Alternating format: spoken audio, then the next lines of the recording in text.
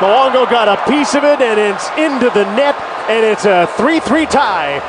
I don't even think Knuble can believe it. I mean, this is a shot that he kind of missed.